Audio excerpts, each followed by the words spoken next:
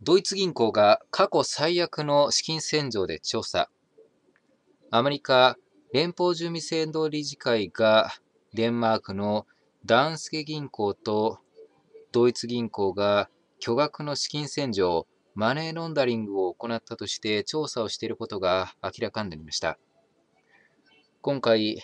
問題となった額なんですが、25兆円とされており、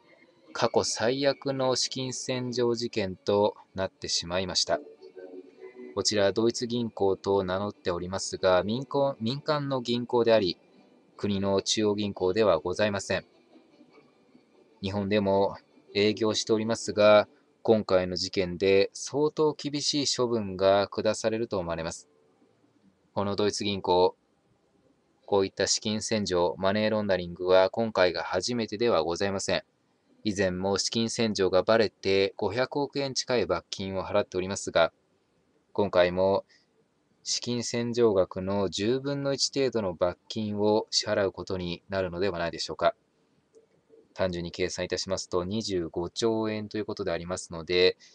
2兆円ほどの罰金が発生する可能性がございます。こちら、今後どういっった形になるのか分かりませんが、このドイツ銀行、相当厳しい状況になっておりますので、国民や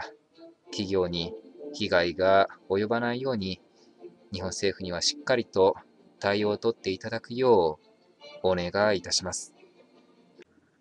以上になります。ご清聴いただきありがとうございました。